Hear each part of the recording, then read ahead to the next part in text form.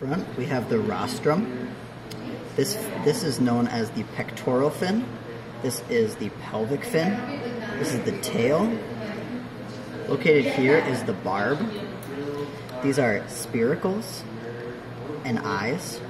If we move over to this dissection, we can see the mouth and the nostrils, the gills right here, the heart.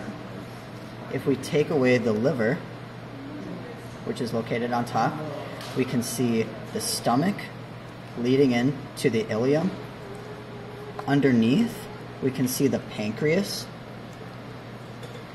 And the dark portion is the spleen. The cloaca is right here, and this is a male, so this, uh, these are claspers.